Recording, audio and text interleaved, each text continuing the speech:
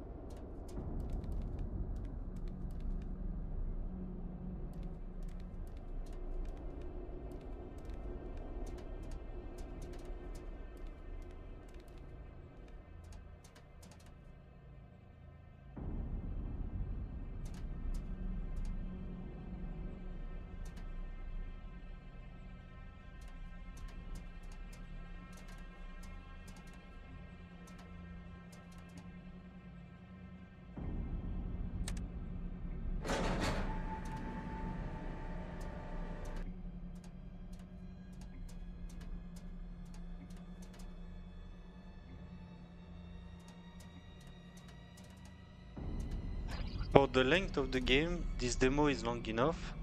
You have a big level to explore in this semi-open world. You will play for something like an hour. There will be some die and retry that could become frustrating. For the fun and interest, this game is a little bit fun, especially if you like original experience with some adult moments. It's more for the curious and the game is still in a very early phase. So try it and put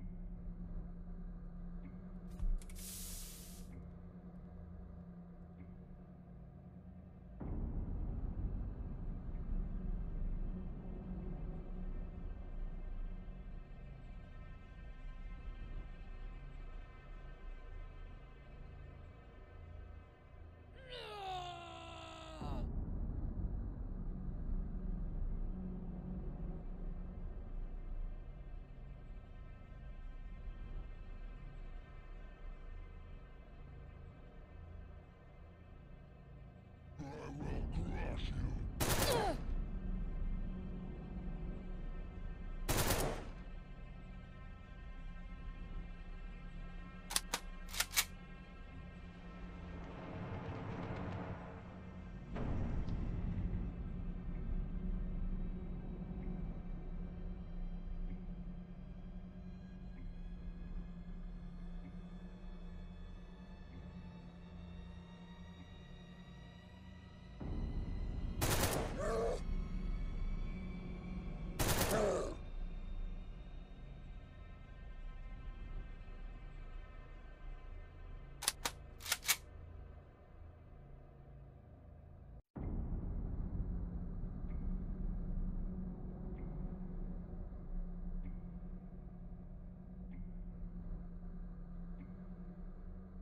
I will crush you.